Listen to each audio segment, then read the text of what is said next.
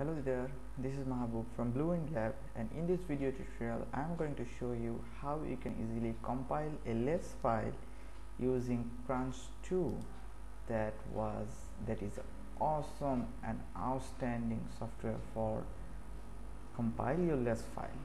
So let's get started. So you can download it for free from that URL. So once you download uh, the file from here you just install it in your computer and you will get a window like this. So I'm going to change the color right now. First we need to check uh, the file structure in here.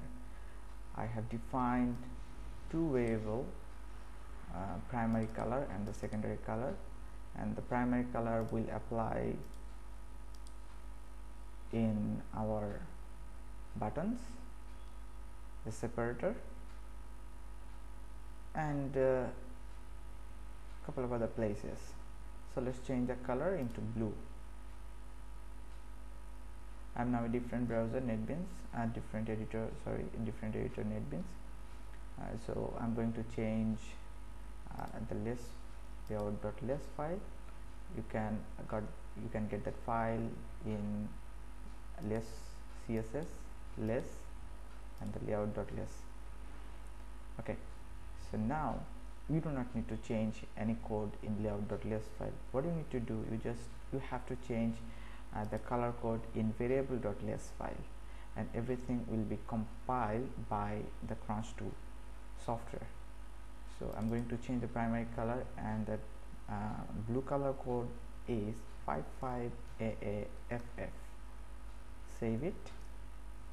Now go to the crunch 2 software and uh, click the crunch.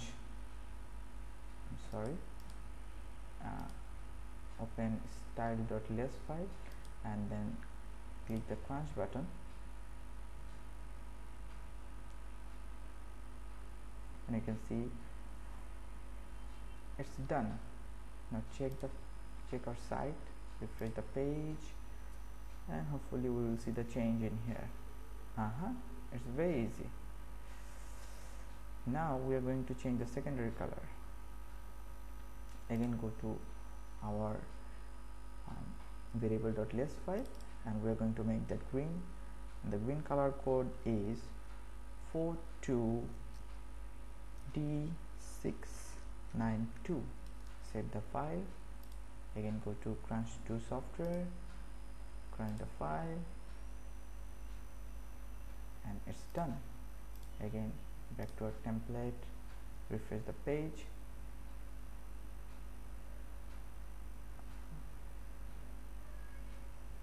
Okay and you will see the changes in here. It's, it's very easy. Hope that helps and let me know if you need more help. Thank you